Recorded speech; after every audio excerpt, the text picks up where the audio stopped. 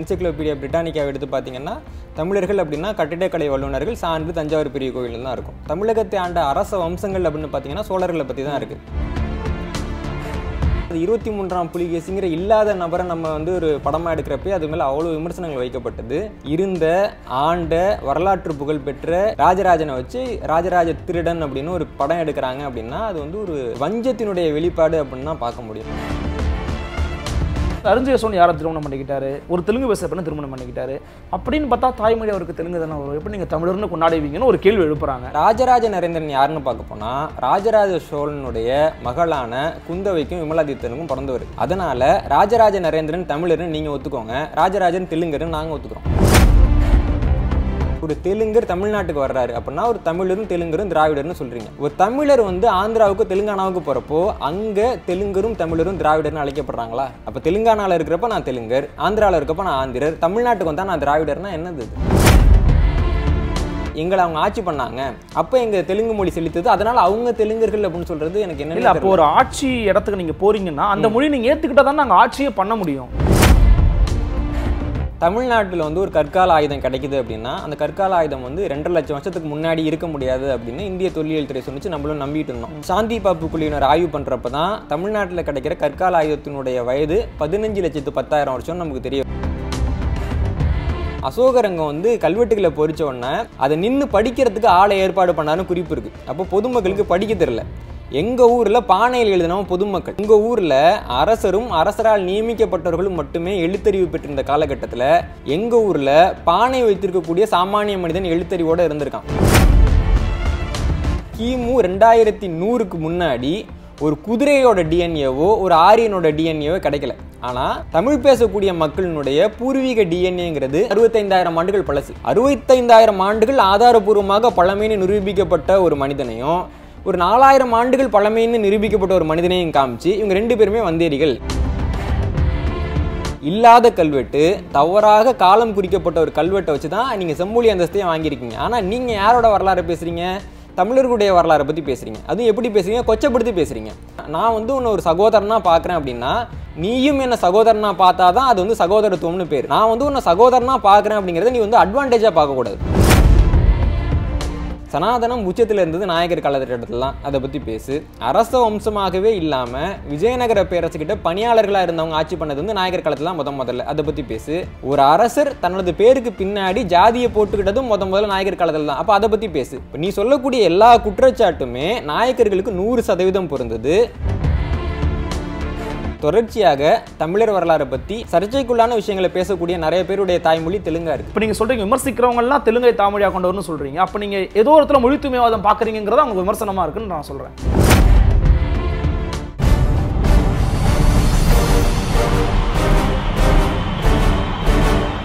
தமிழின் number one அரசியல் ஊடகமான ஆதன் தமிழ் நேயர்களுக்கு அன்பு வணக்கங்கள்.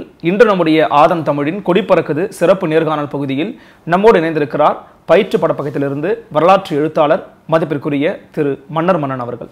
வணக்கம். வணக்கம். எப்படி இருக்கீங்க? நலமா இருக்கேன் முதல்ல எங்களுடைய வாழ்த்துகள்.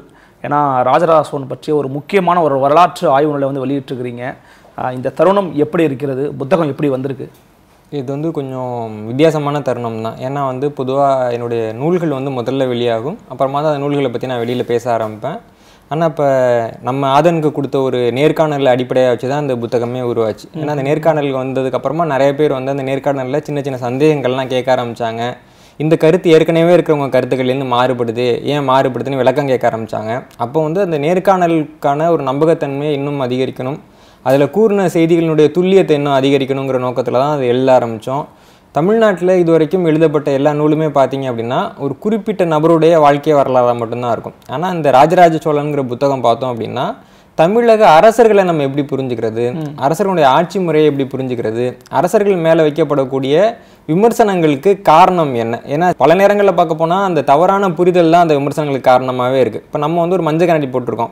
அதை கழட்டாத வரைக்கும் மற்றதெல்லாம் மஞ்சளாக தான் தெரியும் கண்டிப்பா. அப்போ அந்த மஞ்சள் கண்ணாடியை நம்ம எந்தெந்த விஷயத்தெல்லாம் போட்டிருக்கோங்கிறத வந்து கோடிட்டு காட்டக்கூடிய வேலையும் அந்த புத்தகம் பார்த்துருக்கு. அதில் வந்து ராஜராஜன் தொடர்பான இதுவரைக்கும் எந்த நூல்களும் சொல்லாத நிறைய செய்திகளை நம்ம ஆவணப்படுத்தியிருக்கோம். உலகளாவிய ஆய்வு. இப்போ வந்து இந்த நில அளவைன்னு ஒன்று பண்ணுவாங்க. அதில் அந்த நிலத்தை தரம் பிரித்து அளவை நடத்துறது அப்படிங்கிறத உலக அளவில் முதன் முதல்ல ராஜராஜ சோழன் தான் பண்ணியிருக்காரு உலக அளவுலேயே. அதை பற்றின குறிப்புகள்லாம் இந்த புத்தகத்தில் முதல் தடவையாக நம்ம கொடுத்துருக்கோம். அந்த மாதிரி இது வரைக்கும் யாரும் சொல்லாத நிறைய தகவல்கள் சொல்லியிருக்கோம். அது இல்லாமல் ராஜராஜ சோழன் தொடர்பாக இருக்கக்கூடிய பிரபலமான சர்ச்சைகள் கேள்விகளுக்கான பதில்கள்லாம். இப்போ ராஜராஜ சோழன் தான் தீண்டாமையை கொண்டு வந்தார் அப்படின்னு நிறைய பேர் சொல்லிட்டு இருந்தாங்க. அது இல்லவே இல்லை அப்படின்னு ஆணித்தனமாக தரவுகளோட நம்ம நிரூபிச்சிருக்கோம். அது இல்லாமல் தேவரடியார் முறை அப்படிங்கிறது ராஜராஜ சோழன் காலத்தில் வந்ததுன்னாங்க. அது நூறு சதவீதம் தவறு அப்படிங்கிறத நம்ம ஆதாரங்களோட கொடுத்துருக்கோம். இந்த மாதிரி ராஜராஜன் மேலே வைக்கப்பட்ட நிறைய பழிச்சொற்களுக்கான உரிய விடைகள் உரிய ஆதாரங்களோட இந்த புத்தகத்தில் இடம்பெற்றிருக்கும். நிச்சயமா ஒரு வரலாற்று கருவூலமா அந்த புத்தகம் இருக்கும் அப்படிங்கிறது யாருக்கும் கண்டிப்பா, மாற்று கருத்து இல்ல. நம்ம ராஜராஜ சோழன் பற்றி தான் இந்த நேர்காணலும் நான் வந்து அமைச்சிருந்தேன். அதனால தான் உங்களோட புத்தகத்தை பத்தி நான் துவங்கிட்டேன். சமீபத்துல பாத்தீங்கன்னா தெலுங்குல வந்து ராஜராஜ சோரன் அப்படின்னு ஒரு ட்ரைலர் ஒன்று வெளியாச்சு. அது தமிழ் அறிந்த மற்றும் தமிழ் சார்ந்த சூழல் இயங்கிட்டு இருக்கவங்க மத்தியில் ஒரு பெரிய ஒரு ஒரு பாதிப்பை ஏற்படுத்துச்சு. ஏன் இப்படிலாம் பண்றாங்க? ஏன் ராஜராஜ சோழனை மட்டும் டார்கெட் பண்றாங்க? அப்படிங்கிற ஒரு விவாதத்தை உருவாக்குச்சு. ஏன் ராஜராஜ சோழன் மீது தொடர்ந்து ஏதாச்சும் ஒரு வகையில விமர்சனங்கள் தொடர்ந்து வந்துகிட்டே இருக்கு? ஒரு எழுத்தாளரா ஒரு ஆய்வாளரை எப்படி பாக்குறீங்க இந்த- இந்த சூழலை? அதாவது என்னென்னா இப்போ உங்கள்கிட்டக்க ஒரு பெருமிதம் இருக்குது அப்படின்னா அந்த பெருமிதத்தை சீர்குலைக்கணும் அப்படின்னு அடுத்தவங்க முயற்சி பண்ணுறது ரொம்ப இயல்பானதான். இப்போ எகிப்துங்கிற ஒரு நாட்டை அழிக்கிறதும் அங்கே இருக்க பிரமிடுகள் அழிக்கிறதும் ஒன்று தான் இந்தியாங்கிற ஒரு நாட்டினுடைய ஒட்டுமொத்த பெருமையை சீர்குலைக்கிறதும் தாஜ்மஹாலுக்கு எதிராக சிந்திக்கிறதும் அப்படிங்கிறதும் ஒன்று தான் ஏன்னா வந்து உலக அரங்கில் அதுதான் அவங்களுடைய சின்னமாக இருக்குது அப்போ தமிழர்களுக்கான சின்னம் எது அப்படின்னு பார்க்க போனால் நீங்கள் என்சைக்ளோபீடியா பிரிட்டானிக்காவை எடுத்து பார்த்தீங்கன்னா தமிழர்கள் அப்படின்னா கட்டிடக்கலை வல்லுநர்கள் சான்று தஞ்சாவூர் பெரிய கோயில் தான் இருக்கும். தமிழக அரசர்கள் அப்படின்னு ஆரம்பிச்சிங்கன்னா ராஜராஜ சோழர்களை பற்றி தான் இருக்கும். தமிழகத்தை ஆண்ட அரச வம்சங்கள் அப்படின்னு பார்த்தீங்கன்னா சோழர்களை பற்றி தான் இருக்குது இன்னும் சொல்லணும்னா அந்த இடத்துல பாண்டியர்களை பற்றி குறிப்பிட்டிருக்கணுங்கிறது என்னோட தனிப்பட்ட அபிப்பிராயம். ஆனால் இருக்கிறது வந்து சோழர்களை பற்றி தான் இருக்குது அப்போது இந்த பெருமிதத்தை தாக்கணும் அப்படிங்கிற எண்ணம் வந்து மற்றவங்களுக்கு வர்றது இயல்பானது தான். ஆனால் இந்த எண்ணம் எல்லாருக்குள்ளேயும் கொஞ்சமாக இருந்தது கொஞ்சம் அரசல் புரசலாக இருந்ததுங்கிறது மாறி ரொம்ப அப்பட்டமாக வெளிப்படுறப்ப அது நமக்கு ஒரு பெரிய அதிர்ச்சியாக இருக்குது ராஜராஜ சோரன் அப்படிங்கிற அந்த பேரை பார்த்தீங்க அப்படின்னா சோரன் அப்படிங்கிறது தெலுங்கு வார்த்தையே கிடையாது. அது வந்து ஒரு இந்தி வார்த்தை சோரா அப்படிம்பாங்க திருடன்னு பேர். ஒரு நபரை வந்து திட்டணுங்கிறதுக்காக இப்போ நம்ம ஊரில் சோழர்னு சொல்கிறோம் ஆந்திரா பகுதியில் சோழர்னு சொல்லுவாங்க. அதற்கினையா ஒரு சொல் வேணும்ன்ட்டு ஹிந்தி மொழியிலேருந்து ஒரு சொல்ல கடன் வாங்கி அவரை திட்டுறாங்க. நம்ம வந்து இங்கே புலிகேசி அப்படின்னு படம் எடுத்தோம்னா நம்ம யாருக்கும் புலிகேசியை பற்றி பெருசாக தெரியறதுக்கு வாய்ப்பே இல்லை. ஆனால் நான் அதனால் வந்து ஒரு நகைச்சுவை கதாபாத்திரத்தை பேர் வச்சாங்க படமாக வந்தப்பையும் அது வந்தது. ஆனால் அவங்க எல்லாருக்குமே ராஜராஜ சோழன்னு தெரியும். தெரிஞ்சு ஒரு நபர் அதாவது இருபத்தி மூன்றாம் புலிகேசிங்கிற இல்லாத நபரை நம்ம வந்து ஒரு படமாக எடுக்கிறப்பே அது மேலே அவ்வளோ விமர்சனங்கள் வைக்கப்பட்டது. இருந்த ஆண்ட வரலாற்று புகழ் பெற்ற இன்னைக்கும் தமிழர்களில் பெரும்பகுதியினர் தங்களுடைய மூதாதை அப்படின்னு சொல்லி கொண்டு இருக்கக்கூடிய ராஜராஜனை வச்சு ராஜராஜ திருடன் அப்படின்னு ஒரு படம் எடுக்கிறாங்க அப்படின்னா அது வந்து ஒரு ஒரு வஞ்சத்தினுடைய வெளிப்பாடு அப்படின்னு தான் பார்க்க முடியும். இந்த விஷயத்தில் எனக்கு பெரிய அதிர்ச்சியாக அமைஞ்சது என்ன அப்படின்னா இப்போ தமிழகத்தில் இருக்கக்கூடிய ஆந்திராவில் இருக்கக்கூடிய தெலுங்கானாவில் இருக்கக்கூடிய தெலுங்கு பேசக்கூடிய மக்களில் சிலர் வந்து சோழர்கள் மேலே ஓரளவுக்கு மரியாதை வைத்திருக்கக்கூடியவர்கள் நான் நினச்சிக்கிட்டு இருந்தேன். எனக்கு அந்த கருத்து இருந்தது. ஆனால் இந்த விவகாரத்தில் எந்த தெலுங்கு அமைப்புகளும் இதுக்கு எதிராக கருத்தே வெளியிடல. இப்போ ஒரு தெலுங்கு நடிகருக்கு எதிராக யூடியூப் சேனலில் ஒருத்தர் வீடியோ போட்டாருன்றப்போ அங்கே தெலுங்கில் இருக்கக்கூடிய நிறையா மக்களுக்கு கண்டனம் தெரிவித்தாங்க நடிகர் சங்க தலைவராக இருக்கிறவரெல்லாம் அந்த யூடியூப் சேனல்கிட்ட பேசினார். ஒரு நடிகர் அவமானப்பட்டுட்டாருங்கிறப்போ அவங்க வந்து அவ்வளோ கொந்தளிச்சாங்க. ஆனால் ஒரு பேரரசர் ஒரு அரச மரபினுடைய மிகச்சிறந்த ஒரு தலைமகனாக இருக்கக்கூடியவர் வந்து ஒருத்தவங்க நேரடியாக தாக்குற மாதிரி படம். அதுவும் பார்த்தீங்கன்னா அந்த போஸ்ட்டில் கிரீடெல்லாம் வச்சுட்டு அந்த திருடன் நின்றுட்டு இருப்பான். அப்படி ஒரு நேரடி தாக்குதல் நடத்தப்பட்டு கூட இங்கே தமிழ்நாட்டில் வந்து இங்கே சோழர்கள் வந்து எங்கள் ஆளுங்க தான் அப்படின்னு பல இடங்களில் பேசிகிட்டு இருந்த தெலுங்கு பேசக்கூடிய மக்களாக இருக்கட்டும் இல்லை அமைப்பாக இருக்கட்டும் இதுக்கு எதிராக அவங்க எதுவுமே பெருசாக சொல்லவே இல்லை. எனக்கு ரொம்ப ஆச்சரியமாகவும் அதிர்ச்சியாகவும் சில இடத்துல வந்து நம்ம வந்து இப்பெல்லாம் எதிர்பார்க்கலையே அப்படின்னு ஒரு பெரிய வருத்தம் தரக்கூடிய ஒரு சூழ்நிலையாகவும் அது இருந்தது. இல்லை அதுதான். இப்போ என்னோட கேள்வி என்னன்னா இப்படி எதிர்பார்க்கவே இல்லை. நீங்களும் எதிர்பார்க்கலாம் நானுமே எதிர்பார்க்கல. அப்போ எதிர்பார்க்காத ஒரு இடத்துல இருந்து இப்படி ஒரு எதிர்ப்பு ஏன் வருதுங்கிறது என்னோட கேள்வியாக இருக்குது உதாரணத்திற்கு சமீப காலங்களில் பாருங்களேன் இந்த தமிழர் தெலுங்கர் அப்படிங்கிற விஷயத்த கொஞ்சம் கூர் நோக்கி பார்க்கும்போது ராஜராஜ சோழன் வந்து எப்படிங்க நீங்கள் தமிழர்னு சொல்லுவீங்க? அதாவது தெலுங்கர்கள்லேயே ஒரு சில பேர் ராஜராஜ சோழனை மதிக்கக்கூடிய ஆட்கள் நீங்கள் இருக்கிறதுனால அடிப்படை வச்சு நான் சொல்கிறேன் முதலாம் பராந்தக சோழன் யாரை திருமணம் பண்ணிக்கிட்டாரு? ஒரு மலையாளம் பேசுறவங்க திருமணம் பண்ணிக்கிட்டாரு. அதன் பிறகு வந்து அருஞ்சய சோழன் யாரை திருமணம் பண்ணிக்கிட்டாரு? ஒரு தெலுங்கு பேசுற திருமணம் பண்ணிக்கிட்டாரு. அப்படின்னு பார்த்தா தாய்மொழி அவருக்கு தெலுங்கு தானே வரும். எப்படி நீங்கள் தமிழர்னு கொண்டாடுவீங்கன்னு ஒரு கேள்வி எழுப்புறாங்க. அப்போ இதெல்லாம் ஒப்பிட்டு பார்க்கும்போது ராஜா சோழன் தெலுங்குரான்னு கேள்வி எழுப்புறாங்க. உங்களுடைய பதில் என்ன? நான் ரொம்ப எளிமையாக கேட்குறேன் ஆந்திராவை ஆண்ட மிகச்சிறந்த அரசர் யாருன்னு கூகுள் பண்ணி பார்த்தீங்கன்னா ஆந்திராவின் பொற்காலம் எது அப்படின்னு கூகுள் பண்ணி பார்த்தீங்கன்னா ராஜராஜ நரேந்திரனுடைய ஆட்சி காலம்னு வரும். ராஜராஜ நரேந்திரன். ராஜராஜ நரேந்திரன். அவர் தான் வந்து ராஜமுந்திரிங்கிற இப்போ இருக்க தலைநகரத்தை உருவாக்குனாரு. தெலுங்குல ராமாயணம் எழுதுறதுக்கு முத முதல்ல ஆட்கள் அமர்த்தினது அவர் தான். தெலுங்கு மொழி இன்னைக்கு ஓரளவுக்கு பரவலாக பேசப்படுதுன்னா அது காரணம் ராஜராஜ நரேந்திரன் தான். அந்த ராஜராஜ நரேந்திரன் யாருன்னு பார்க்க போனா ராஜராஜ சோழனுடைய மகளான குந்தவைக்கும் விமலாதித்தனுக்கும் பிறந்தவர். அதனால ராஜராஜ நரேந்திரன் தமிழர்னு நீங்க ஒத்துக்கோங்க ராஜராஜன் தெலுங்கர்னு நாங்க ஒத்துக்கிறோம். ஒரு உடன்பாட்டுக்கு வரலாமா? அவங்க விக்கிபீடியா பக்கத்துல போய் பார்த்தீங்கன்னா ராஜராஜ நரேந்திரனுடைய தாய்மொழி தமிழ் அப்படின்னு இருக்காது. அது கூட அவங்க கொடுக்கறதுக்கு தயாரா இல்லை. அவங்களுடைய முன்னோர்கள் பேர் கூட அவங்க கொடுக்கறதுக்கு தயாரா இல்லை. இது வந்து ரொம்ப ஒரு வன்மத்திலேருந்து வரக்கூடியது அப்படின்னு நான் பார்க்குறேன் என்னன்னா என்ன வன்மம் இருக்க போகுதுன்னு நான் கேட்கறேன் அப்படி என்ன சோழன் மீதோ ராஜா சோழன் மீது என்ன வன்மம் இருக்க போகுதுன்னு நான் அதாவது இது வந்து தாக்குதல் வந்து ராஜராஜ சோழன் மேல் நடத்தப்படுது அப்படிங்கிறதுனால இலக்கு அவருன்னு நம்ம புரிஞ்சுக்க முடியாது. இது வந்து தமிழ் மீது நடத்தப்படக்கூடிய தாக்குதல் அப்படின்னு தான் நம்ம புரிஞ்சுக்கணும். ஏன்னா இது எல்லாமே எப்போ ஆரம்பிக்குது அப்படின்னா தமிழுக்கு வந்து செம்மொழி தகுதி கொடுக்கப்படுறதுக்கு முன்னாடி வரைக்கும் நிலவரம் வேற. தமிழுக்கு கொடுத்தவொன்னே அடுத்து சமஸ்கிருதம் நானும் செம்மொழி அப்படிங்குது. அடுத்து தெலுங்கு வந்து நானும் செம்மொழி அப்படின்னு வந்து நிற்கிது நிற்கிறப்போ அவங்க வந்து ஒரு குழு அமைக்கிறாங்க. ஒரு குழு அமைச்சு தெலுங்கு வந்து செம்மொழிங்கிறதுக்கான ஆதாரங்களை கொடுங்க அப்படின்றப்போ அவங்க வந்து ரொம்ப போராடி சில ஆதாரங்களை கொடுத்து தெலுங்குக்கு வந்து செம்மொழி அந்தஸ்து வாங்கினாங்க. அதுவும் எந்த அடிப்படையில்? ஆயிரத்தி ஐநூறு ஆண்டுகள் வரை பழமையான மொழிங்கிற அடிப்படையில் தான் தெலுங்குக்கு வந்து செம்மொழி அந்தஸ்து கொடுக்கப்பட்டது. Yes, கண்டிப்பா. அது கொடுக்கப்பட்ட பின்னாடி அவங்க என்ன சொல்ல ஆரம்பிச்சாங்க அப்படின்னா நாங்க வந்து ஒரு எட்டாயிரம் வருஷமா இருக்கோம் அப்படின்னு சில பேர் சொல்ல ஆரம்பிச்சாங்க. இப்போ தமிழ்நாட்டுல இருக்கப்போ அவங்க என்ன சொல்லிட்டு இருக்காங்க அப்படின்னா தமிழும் தெலுங்கும் வந்து ரொம்ப உறவு மொழிகள். தமிழும் தெலுங்கரும் ரொம்ப உறவானவங்க. உங்க அரச பரம்பரைக்கும் எங்க அரச பரம்பரைக்கும் உறவு இருக்கு. இன்னும் சொல்ல போனா தெலுங்கு அரசர்கள் தான் ரொம்ப ஒரு பத்து நூற்றாண்டா தமிழ்நாட்டை ஆட்சி பண்ணிட்டு இருக்காங்கன்னா இங்கே உருட்டுறவங்க. வட இந்தியாவுக்கு போனால் நாங்கள் வந்து திராவிட மொழிகள் பாரம்பரியத்தில் வந்தோம். தமிழுக்கும் எங்களுக்கும் தொடர்பு இல்லை அப்படின்னு வட இந்தியாவில் அவங்க ஆய்வுக்கட்டுரைகள் எழுதிட்டு இருக்காங்க. அதாவது இங்க ஒண்ணு பேசுறாங்க வடஇந்தியால ஒண்ணு வட இந்தியாவில் ஒன்று பேசுறாங்க. நான் என்ன கேட்குறேன்னா ஒரு தெலுங்கர் தமிழ்நாட்டுக்கு வர்றாரு அப்படின்னா ஒரு தமிழரும் தெலுங்கரும் திராவிடர்னு சொல்றீங்க. ஒரு தமிழர் வந்து ஆந்திராவுக்கு தெலுங்கானாவுக்கு போறப்போ அங்க தெலுங்கரும் தமிழரும் திராவிடர்னு அழைக்கப்படுறாங்களா? அப்போ தெலுங்கானால இருக்கிறப்ப நான் தெலுங்கர் ஆந்திராவில் இருக்கப்ப நான் ஆந்திரர் தமிழ்நாட்டுக்கு வந்தா நான் திராவிடர்னா என்னது இது? அதே மாதிரி ஆந்திராவிலேயோ தெலுங்கானாவிலேயோ இருக்கக்கூடியவங்க சோழர்களை வந்து அவங்களுடைய முன்னோர்கள் அப்படின்னு சொல்லிக்கிறாங்களா? இன்னும் சொல்றேன் இந்த தெலுங்குக்கு வந்து செம்மொழி அந்தஸ்து வந்து வாங்கினாங்க ரெண்டாயிரத்தி எட்டாவது ஆண்டுல. எந்த அடிப்படையில் வாங்கினாங்க அப்படின்னா ரேனாடு சோழர் பரம்பரையை சேர்ந்த ஒரு அரசர் இருந்தார். சரி. முத்துராஜ் த- தனஞ்சயவர்மன் அவர் பேர். அந்த அரசர் பொறிச்ச களமெல்லா கல்வெட்டு அப்படிங்கிற ஒரு கல்வெட்டை காமிச்சு தான் இவங்க தெலுங்குக்கு செம்மொழி அந்தஸ்தே வாங்கினாங்க. அந்த கல்வெட்டோட காலம் கிபி ஐநூற்றி எழுபத்தி அஞ்சு அப்படின்னு அவங்க சொன்னாங்க. Okay. அந்த சோழர் கால கல்வெட்டை வச்சு தான் தெலுங்கினுடைய எழுத்துக்கள் வந்து ஆயிரத்தி ஐநூறு பழ ஆண்டுகள் பழமையானது அப்படின்னு நிரூபிக்க முடிஞ்சது.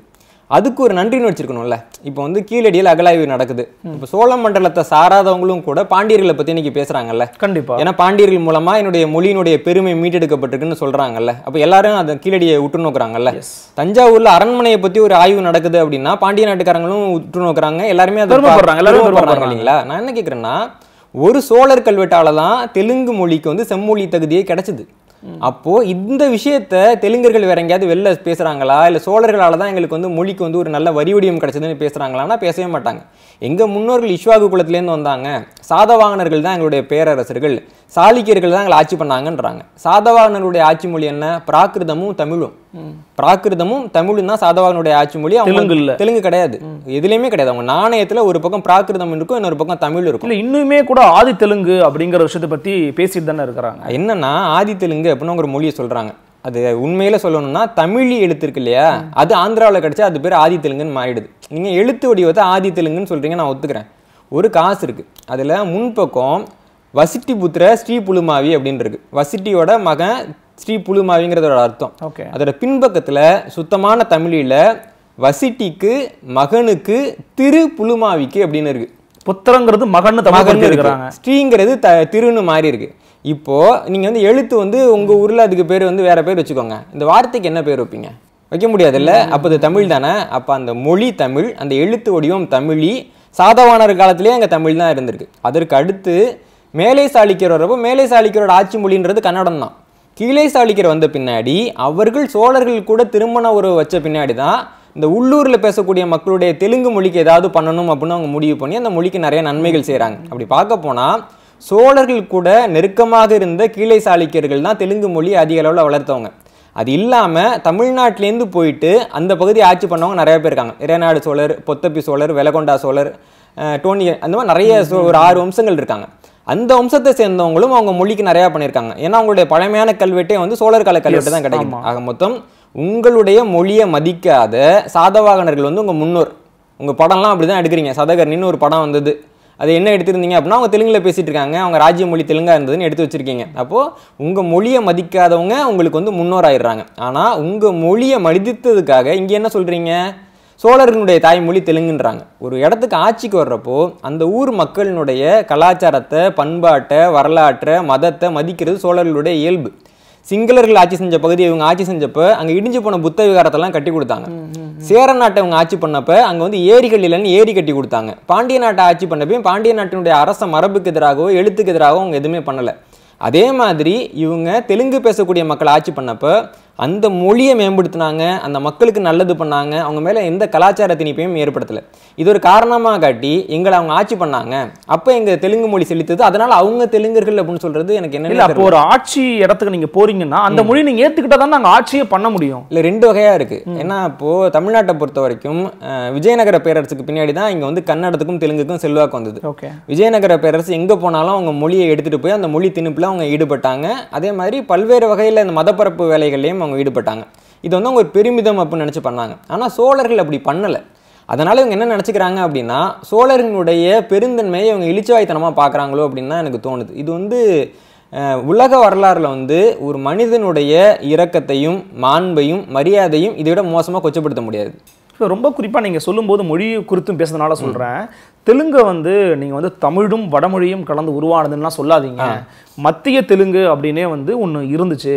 ஸோ இந்த வாதமே வந்து தவறான வாதம் அப்படின்னு ஒரு சில ஆய்வாளர்கள் வந்து பேசுகிறாங்க நீங்கள் உடன்பட்டு போறீங்கன்னா இந்த பார்வை நீங்கள் எப்படி பார்க்குறீங்க அதாவது இந்திய வரலாறு இருக்குல்ல அது வந்து பொதுவாக தமிழர்களுக்கு எதிராக எழுதப்பட்ட ஒரு வரலாறு தான் இது வந்து நான் ஆதாரங்களோட தான் சொல்கிறேன் ஏன்னா தமிழ்நாட்டில் வந்து ஒரு கற்கால ஆயுதம் கிடைக்குது அப்படின்னா அந்த கற்கால ஆயுதம் வந்து ரெண்டரை லட்சம் வருஷத்துக்கு முன்னாடி இருக்க முடியாது அப்படின்னு இந்திய தொல்லியல் துறை சொன்னிச்சு நம்மளும் நம்பிட்டு இருந்தோம்.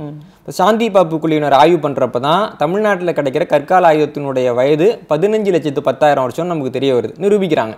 இப்போ பதினஞ்சு லட்சத்து பத்தாயிரம் வருஷம் பழமையான கருவியை நீங்கள் என்ன சொல்லிட்டு இருந்தீங்க? ரெண்டரை லட்சம் வருஷம் பழசு அப்படின்னீங்க. ஆயிரத்தி தொள்ளாயிரத்தி எழுபது வரைக்கும் தமிழ்நாட்டில் பாறை ஓவியங்களே கிடைக்கலன்னாங்க. பாறை ஓவியங்கள்னா ஒரு மூவாயிரம் ஆண்டுகள்லேருந்து பத்தாயிரம் ஆண்டுகளுக்கு மேலே பழமை மிக்கது. தமிழ்நாட்டில் இல்லவே இல்லை அப்படின்னு தொல்லியல் துறை ஆவணங்கள் சொல்லிட்டு இருந்தது. சென்னை பல்கலைக்கழகத்தை சேர்ந்த ஒரு வரலாற்று குழு மாணவர்களோட போனப்போ தற்செயலாக வந்து பாறை ஓவியங்களை கண்டுபிடிச்சாங்க. அது செய்தியாக வந்த பின்னாடி நிறைய தன்னார்வலர்கள் முயற்சி பண்ணுறப்போ தமிழ்நாடு முழுக்க இன்னைக்கு வந்து முப்பது இடங்கள்ல பாறை ஓவியங்களை நாங்கள் கண்டுபிடிச்சிருக்கோம். அதுக்கு அப்புறமா ஒரு எழுத்து கண்டுபிடிக்கப்படுறப்போ அசோகரோட பிராமி தான் பழசு. அதை பார்த்து தான் இங்க இருக்கிற மக்கள் வந்து தமிழை எழுதுனாங்க நீங்க. ஆனா அசோகர் பிராமி எழுதுனது கிமு மூன்றாம் நூற்றாண்டு. இப்ப கிடைச்சிருக்க ஆதாரங்களின்படி தமிழை எழுதுனது கிமு ஆறாம் நூற்றாண்டு. நமக்கு வந்து கார்பன் டேட்டிங்லேயே கீழடியிலேருந்து வந்திருக்கு. இதுல கவனிக்க வேண்டிய செய்தி என்னன்னா அசோகரங்கம் வந்து கல்வெட்டுகளை பொறிச்ச உடனே அதை நின்னு படிக்கிறதுக்கு ஆளை ஏற்பாடு பண்ணாருன்னு குறிப்பு இருக்கு. அப்போ பொதுமக்களுக்கு படிக்க தெரியல. எங்க ஊர்ல பானையில் எழுதினவன் பொதுமக்கள். அங்க உங்க ஊர்ல அரசரும் அரசரால் நியமிக்கப்பட்டவர்களும் மட்டுமே எழுத்தறிவு பெற்றிருந்த காலகட்டத்துல எங்க ஊர்ல பானை வைத்திருக்கக்கூடிய சாமானிய மனிதன் எழுத்தறிவோட இருந்திருக்கான். அப்போ எங்களுடைய எழுத்தறிவு எவ்வளவு பழமையானது அவங்க எழுத்தறிவு எவ்வளவு பழமையானது? ஆனா என்ன சொன்னாங்க? வடக்குல இருந்தா இங்க வந்து எழுத்து முறையே வந்தது அப்படின்னாங்க. இதனுடைய தொடர்ச்சியா இப்ப என்ன உருட்டிக்கிட்டு இருக்காங்கன்னா இந்த மொழி திராவிட மொழிகள் அப்படிங்கிறது வந்து வடக்குல என்ன வந்தது. ஏன்னா வந்து இந்த பிராகுயி மாதிரியான மொழிகள்லாம் பேசுவாங்கல்ல அங்க வந்து ஈழம்னு ஒரு மொழி இருந்தது. கிமு நானூற்றம்பதுலேயே இது அழிஞ்சு போச்சு. அந்த மொழியிலேருந்து பேசக்கூடிய மக்கள் கொஞ்சம் பேர் இங்க வந்தாங்க தென்னிந்தியாவுக்கு. அந்த மொழியை தூக்கிட்டு வந்தாங்க. அவங்க தான் தமிழர்கள்ட்ட அந்த மொழியை கொடுத்தாங்க. வர்ற வழியில நிறைய இடத்துல அந்த மொழி சதறிட்டு அதுலேருந்து தான் திராவிட மொழிகள் வந்து கிளைத்தது அப்படின்றாங்க. ஒரு விஷயம் பரவி இருக்கு அப்படின்னா எங்க அடர்த்தி அதிகமா இருக்கு? போக போக எங்க அடர்த்தி குறைவா இருக்குன்னு பார்க்கிறது தான் ஒரு மரபு. கண்டிப்பா. இங்க தென்னிந்தியா முழுக்க தமிழ் வந்து ரொம்ப அடர்த்தியா இருக்கு. நூத்தி ஐம்பத்தி மூன்று வட்டார வழக்கு மொழிகள் இருக்கு திராவிட மொழிகள் அப்படின்னு சொல்லக்கூடியது. இந்த நூத்தம்பத்தி மூன்று வட்டார வழக்கு மொழிகள் கூடவும் நேரடியா தொடர்பு இருக்கக்கூடிய ஒரே மொழி தமிழ் மொழி. ஆனா அவங்க என்ன சொல்றாங்க? கிமு நானூற்றம்பதுலேயே அழிஞ்சு போன ஈழம்ங்கிற மொழியிலேருந்து தான் இதெல்லாம் வந்தது அப்படின்றாங்க. இத்தனை ஆண்டு காலமாக இவர்கள் சொன்ன எல்லாமே ஆதாரபூர்வமாக பொய்ன்னு நிரூபிக்கப்பட்ட மாதிரி இந்த மொழிக் கொள்கையும் ஆதாரப்பூர்வமாக பொய்ன்னு நிரூபிக்கப்படும். இது எங்கேருந்து வருது அப்படின்னா தமிழ்நாட்டிலேருந்து ஒரு விஷயம் தோன்றுச்சுங்கிறத நம்ம ஒத்துக்கூடாது. இந்த எண்ணத்துலேருந்து தான் வருது. ஒரு விஷயத்தை யோசிக்கிறப்பயே இது வந்து தமிழ்லேருந்து வந்ததுன்னு சொல்லிடக்கூடாது. தமிழர்களுக்கு அந்த பெருமை போயிடக்கூடாது அப்படின்னு தான் அந்த இந்த சிந்தனை மரபே அவங்களுக்கு ஆரம்பிக்குது. ஆரியர்கள் வந்து இந்தியாவின் பூர்வீக குடிகளா இல்லையாங்கிறது ஆராய்ச்சி. அந்த ஆராய்ச்சி வர்றப்போ அவங்க பூர்வீக குடிகள் இல்லைன்னு தெரிய வர்றப்போ உடனே தமிழர்கள் பூர்வீக குடிகளா இல்லையான்னு அதே ஆராய்ச்சி கூட சேர்த்தே ஆராய்ச்சி பண்றாங்க.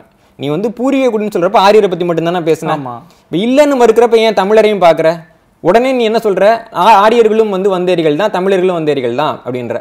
சரி ஆண்ட காட்டுன்னு பார்க்க போறப்போ இந்தியாவில் கிமு ரெண்டாயிரத்தி நூறுக்கு முன்னாடி ஒரு குதிரையோட டிஎன்ஏவோ ஒரு ஆரியனோட டிஎன்ஏவோ கிடைக்கல. ஆனால் தமிழ் பேசக்கூடிய மக்களினுடைய பூர்வீக டிஎன்ஏங்கிறது மிக மிக குறைந்தபட்சம் அறுபத்தைந்தாயிரம் ஆண்டுகள் பழசு. அறுபத்தைந்தாயிரம் ஆண்டுகள் ஆதாரபூர்வமாக பழமைன்னு நிரூபிக்கப்பட்ட ஒரு மனிதனையும் ஒரு நாலாயிரம் ஆண்டுகள் பழமைன்னு நிரூபிக்கப்பட்ட ஒரு மனிதனையும் காமிச்சு இவங்க ரெண்டு பேருமே வந்தேரிகள். இவருக்கு வந்து நாற்பத்தஞ்சு வயசாகுது இவருக்கு ரெண்டு வயசாகுது இவங்க ரெண்டு பேருமே முழு மனிதர்கள் அப்படின்னு சொல்கிற மாதிரி இருக்குது.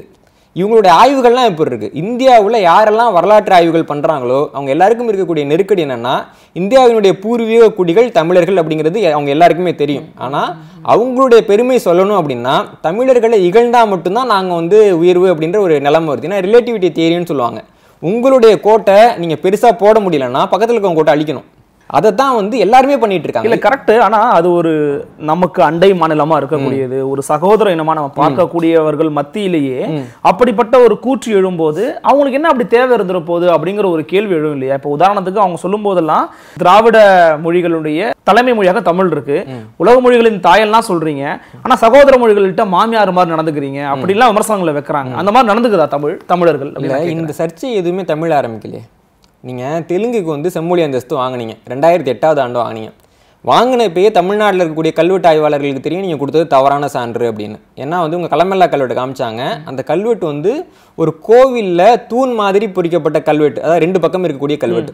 இந்த கோவில் தூண் அமைப்புங்கிறது கிபி எட்டாம் நூற்றாண்டுக்கு பிற்பட்டது தான் ஆனால் நீங்கள் என்ன சொல்றீங்க? அந்த கல்வெட்டு வந்து கிபி ஐநூற்றி எழுபத்தஞ்சில் பொறிக்கப்பட்டதுன்றீங்க. தவறான கல்வெட்டுக்கா செம்மொழி கொடுத்துருக்காங்க கொடுக்கப்பட்டது. அதான் சொல்றேன் எட்டாம் நூற்றாண்டுக்கு முன்னாடி அந்த அமைப்பே கிடையாது. அந்த கோவில் அமைப்பே எட்டாம் நூற்றாண்டுக்கு முன்னாடி கிடையாது. ஆனா அந்த அமைப்புல இருக்க கோயில்ல நீங்க வந்து ஒரு இருக்கக்கூடிய கல்வெட்டு அஞ்சாம் நூற்றாண்டு ஆறாம் நூற்றாண்டு கல்வெட்டுன்னு சொன்னீங்க. நம்ம வந்து சரி பரவாயில்லன்னு விட்டோம்.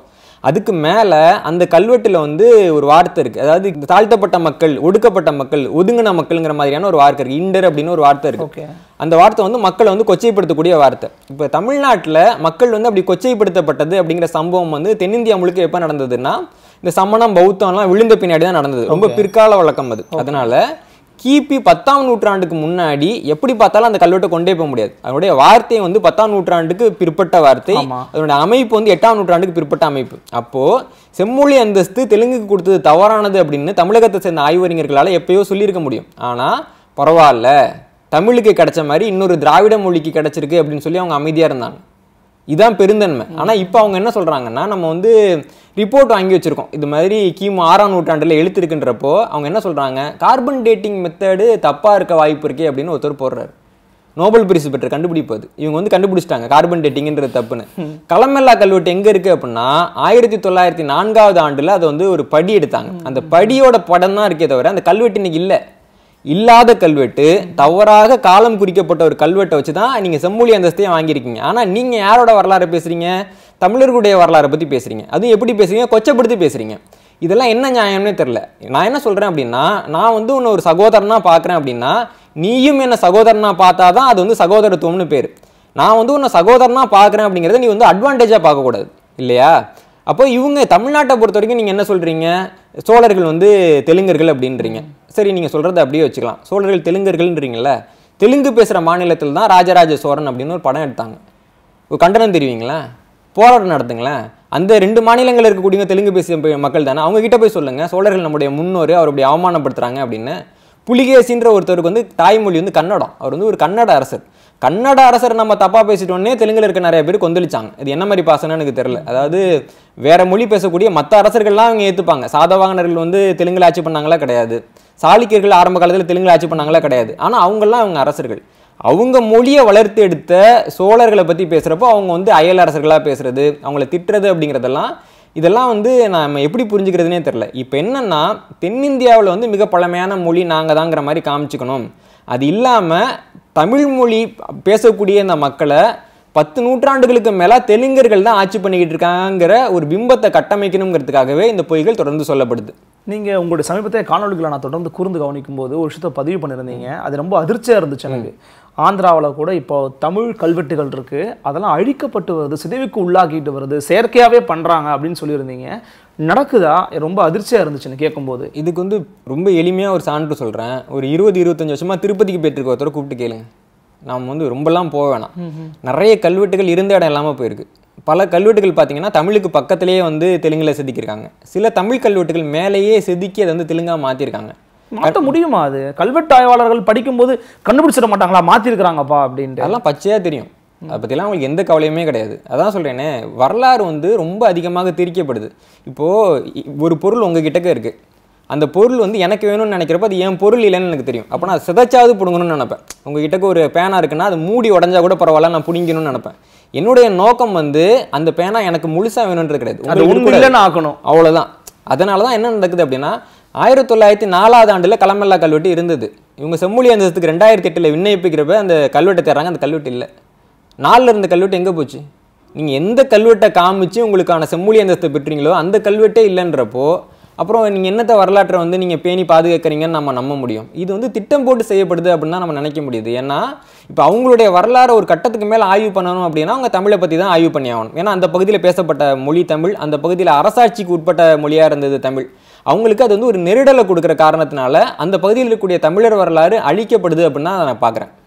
இன்னொரு கேள்விக்கு நான் வரேன். இது வந்து சமகால அரசியல் வரலாறையும் நீங்கள் கூர்ந்து கவனிக்கிறதுனால நான் கேட்குறேன்.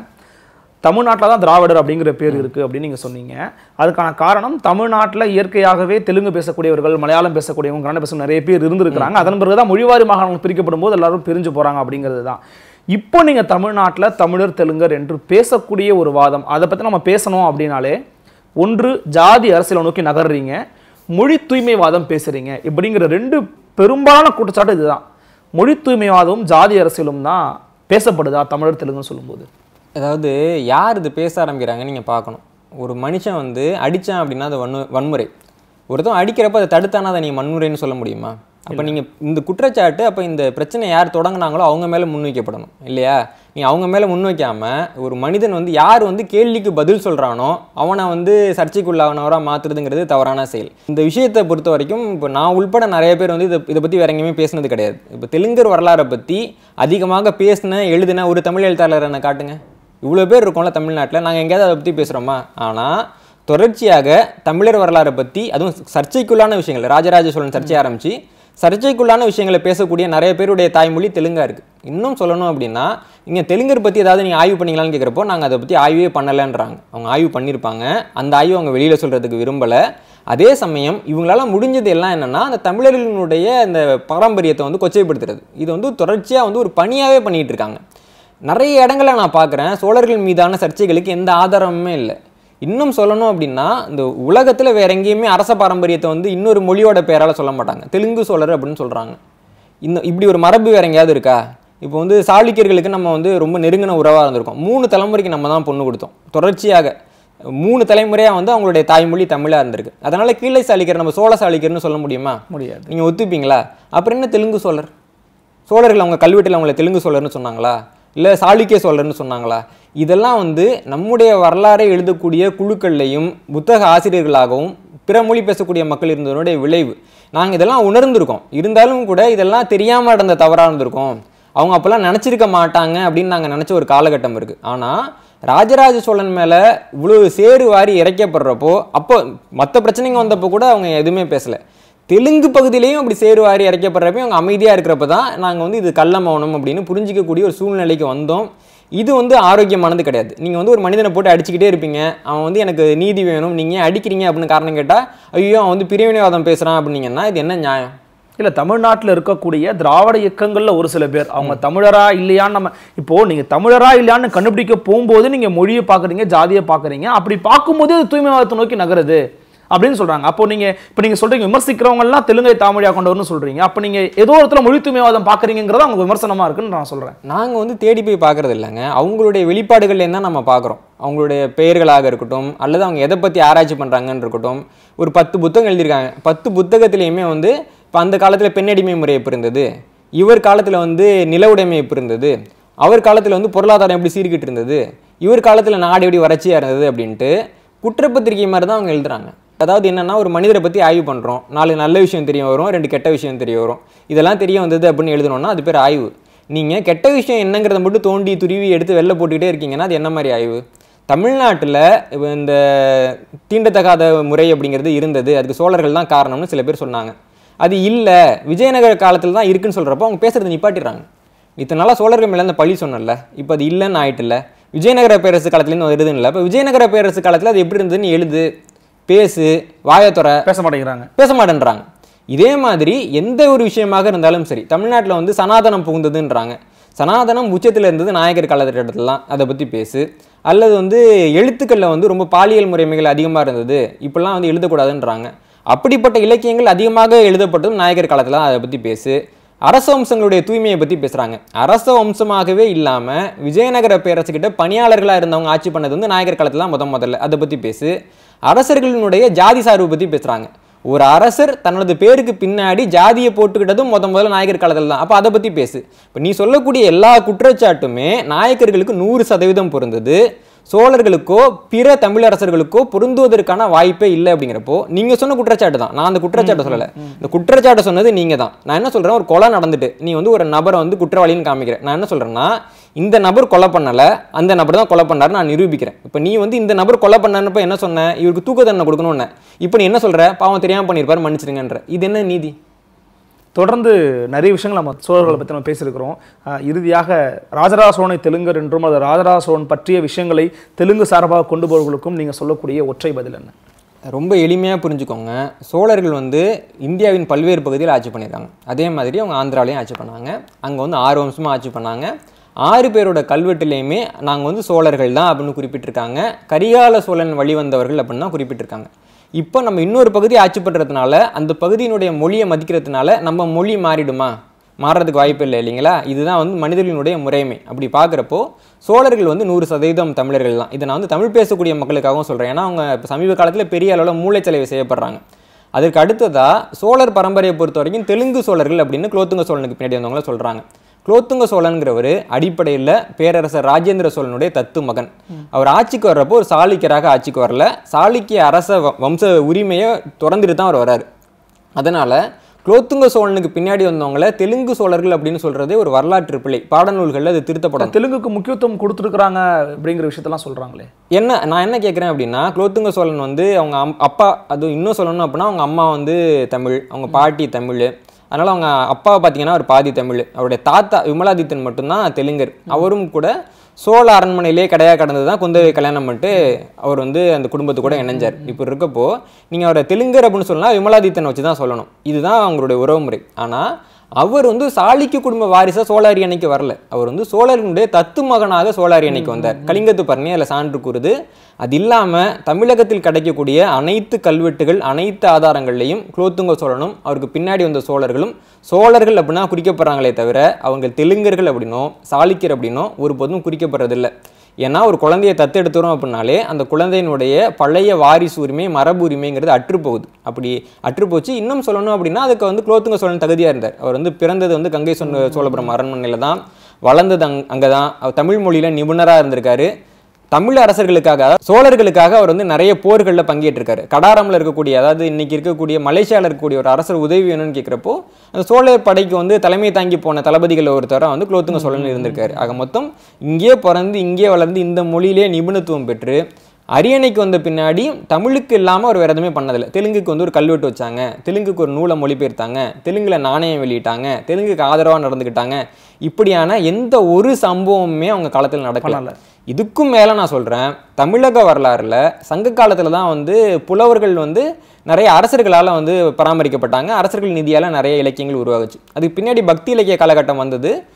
அரசர்களால் வந்து அந்த புலவர்கள் உருவாகலை. சங்க காலத்துக்கு பின்னாடி தமிழ்நாட்டில் அரசர்களின் உதவியால் தமிழ் வந்து செழித்து ஓங்கிய காலகட்டம் எது அப்படின்னு பார்க்க போனால் குலோத்துங்க சோழனுக்கு பின்னாடி வந்த காலகட்டம் தான் நீங்கள் இந்த கம்பத்தின நீங்கள் கம்பராமாயணம் பற்றி பேசினாலும் சரி கலிங்கத்து பரணியை பற்றி பேசினாலும் சரி இல்லை நீங்கள் வந்து கம்பரை பற்றி பேசுகிறீங்க சேக்கிலாரை பற்றி பேசுகிறீங்க அல்லது புகழேந்தி புலவரை பற்றி பேசுகிறீங்க ஒட்டக்குதிரை பற்றி பேசுகிறீங்க யாரை பற்றி பேசினாலும் இன்னைக்கு இருக்கக்கூடிய தமிழ் கூறும் நல்லுலகம் யாரெல்லாம் தமிழில் சிறந்த புலவர் அப்படின்னு சொல்கிறாங்களோ அந்த புலவர்களுக்கெல்லாம் புரவலர்களாக இருந்தவங்க வந்து குலோத்துங்க சோழனுக்கு பின்னாடி வந்தவங்க தான் அப்படி தமிழ் வளர்த்த ஒரு நபர்களை கொண்டு போயிட்டு அவங்களுடைய தலைமுறையில் யாரோ ஒருத்தவங்க தெலுங்கா இருந்தாங்கன்றதை காமிச்சு அந்த பரம்பரை உரிமை வேண்டாம்னு அவங்களே வெட்டி விட்ட பின்னாடி அவங்கள தொடர்படுத்தி பேசுறதெல்லாம் வந்து வன்மம். அது சுத்தமான வன்மம். நான் என்ன கேட்குறேன்னா நீங்கள் வந்து குலோத்துங்க சோழனா உங்கள் உறவுன்னு சொல்கிறீங்களா செயல்பாட்டில் இருக்கட்டும். ஒரு குழந்தை வருது அவங்க குடும்பத்துக்கும் எங்கள் குடும்பத்துக்கும் வந்து சண்டைனாலும் அது எங்கள் குடும்பத்து குழந்தைன்னா நான் கூப்பிட்டு நான் சாப்பாடு கொடுப்பேன். ஏன்னா வந்து அந்த அந்த பாசம்ன்றது இருக்கும். அப்போ உண்மையில உங்களுக்கு இருக்கிறது பாசம் அப்படின்னா ஆந்திராவில் போய் சொல்லுங்கள் தெலுங்கானாவில் போய் சொல்லுங்கள் குலோத்துங்க சோழன் தான் நம்முடைய அரசர் அப்படின்ட்டு. இல்லை சதேவில ஆந்திராவில் எடுங்களேன் ராஜமுந்திரியில் எடுங்க நாங்கள் வேணாம் நான் சொல்கிறோம் இல்லை சோழர்களுக்கும் சாளுக்கியர்களுக்கும் நெருங்கிய உறவு இருக்குது அப்படின்னா நீ கீழே சாளுக்கிற சோழ சாளுக்கியர்னு சொல்லுங்கள் நாங்கள் வரவே இருக்கிறோம் அதை விட்டுட்டு எல்லா தியாகத்தையும் தமிழர்கள் தான் செய்யணும். எல்லா பழியையும் தமிழர்கள் தான் பண்ணணும். தமிழ்நாட்டில் இருக்கக்கூடிய தெலுங்கர்கள் வந்து ஏதாவது தவறு பண்ணாங்கன்னா கூட அதை வந்து பெருசுப்படுத்தக்கூடாது அப்படின்லாம் இவங்க சொல்கிறத வந்து என்னால் ஏற்றுக்க முடியல. தெலுங்கு பேசக்கூடிய மக்களும் அமைப்புகளும் வந்து இது தொடர்பாக கொஞ்சம் சிந்திக்கணும். இது வந்து உலகத்தில் வேற எங்கேயாவது நடக்குமா? நான் வந்து வேறு ஏதாவது ஒரு வெளிநாட்டில் போய் உட்காந்துக்கிட்டு அந்த நாட்டினுடைய மொழிக்கு எதிராக நான் பேச முடியுமா? நான் தான் வந்து பழமையான மொழி. நான் வந்து செம்மொழி. அதனால் அமெரிக்காவில் இருந்துட்டு நான் அமெரிக்க மொழின்னு செம்மொழி அந்தஸ்து கேட்க முடியுமா? இதெல்லாம் உலகத்தில் நடக்குமா? இந்த மக்கள் என்ன பண்ணுறாங்க அப்படின்னா நம்ம ரெண்டு மாநிலத்தில் பரவி இருக்கோம்.